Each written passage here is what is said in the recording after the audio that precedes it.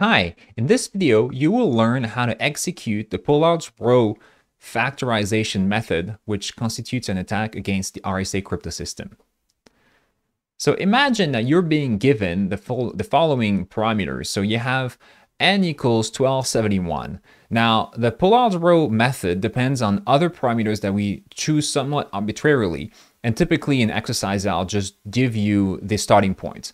So we have a starting point of x0 equals y0 here in this particular exercise. x0 equals y0 equals 2, and a polynomial p of x equals x squared plus 1. Now, what are we going to do? We're going to construct a sequence of xi's and of yi's, and then xi plus 1. So we're agreeing, we're, we're, the starting points are given to you. And xi plus 1 is going to be p of xi mod n. And uh, yi plus 1 is going to be p of b of yi mod n. And at each step of the way, we are going to check the GCD between xi minus yi and n. And if that GCD is non-trivial. So most of the time it's going to be so 1 or n, which is not very interesting. But sometimes it will be either p or q. And if that's the case, then we win, okay? So let's see on this particular and very simple example uh, uh, how this works. So now, bearing in mind, of course, that sometimes, so we have a bound. So Pollard's rho method has a provable bound on the number of iterations and then a heuristic bound, but also sometimes, you know, those, those number of iterations are going to be different, okay? And then here I happen to choose for this video an example where we converge very quickly uh, uh, towards a solution. So, um, and that, but that could take much longer, okay? Just not very great uh, uh to have to do it all by hand. So um, here we have so we have x0 equals uh, y0 equals 2. Now x1 will be equal to 8. And then, so again, I'll let you also do that uh, with your calculator. Uh, y1 equals 68, okay? And now the GCD, I'll just say GCD. Well, actually, let's just write it down of x1 minus y1 and n.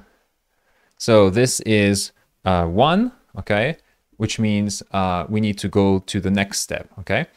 So let's go to uh, uh, x2, which by the way happens to be y1, okay? And that's because remember, y is p of p, I mean, y is updated by doing p of p and x is just one single iteration of p.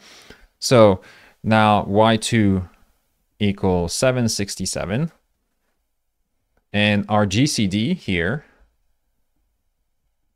is also going to be 1, okay? So we continue. And what we have next is x3 is 815 and y3 again these need to get you need a calculator of course to calculate those values i'm just using my cheat sheet here uh, 629 and now the gcd of x3 minus y3, absolute value, of course, and n, this value is 31, which means I have a non-trivial factor of n, and I can easily retrieve, of course, the other one, concluding that n is 31 times 41, okay? Now, very few iterations this time, but in general, you can't predict that that Pollard's rho method will, will terminate after so few iterations, okay?